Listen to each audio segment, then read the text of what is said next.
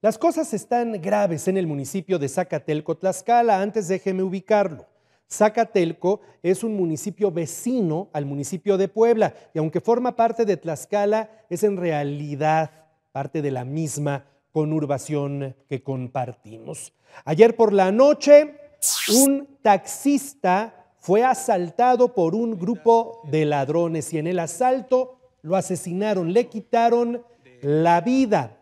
Cuando la población se dio cuenta de lo que estaba sucediendo, se presentaron para tratar de linchar a los ladrones.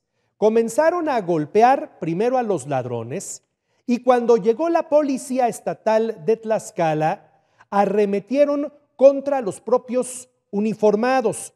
Fue tan grave la golpiza que uno de ellos, Rubén Bernabé Rocha, terminó moribundo. Tuvo que llegar el secretario de Seguridad Pública del Estado de Tlaxcala a rescatar al policía que ya estaba muriendo y a rescatar a otros que estaban también gravemente golpeados. Lamentablemente, el oficial Rubén Bernabé Rocha murió al llegar al hospital y los otros dos continúan internados de forma grave.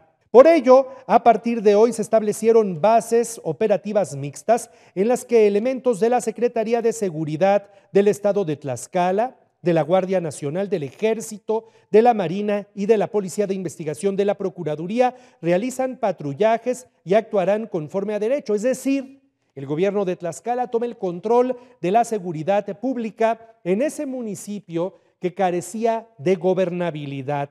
De hecho, del presidente municipal de Zacatelco, Edilberto Pérez Álvarez, no se sabe nada. Desde hace unas semanas, la población se mantiene en protesta por la inseguridad y por la falta de agua. El presidente municipal nunca asiste a las reuniones de seguridad del Estado, ha recibido llamados de atención, le ha valido y ahora por si fuera poco pareciera que quiere deshacerse del municipio para que su hijo lo releve en el cargo. Como sea, hoy lesionados graves, los ladrones, policías, un policía muerto y la víctima de un asalto también que pierde la vida, un hombre de la tercera edad.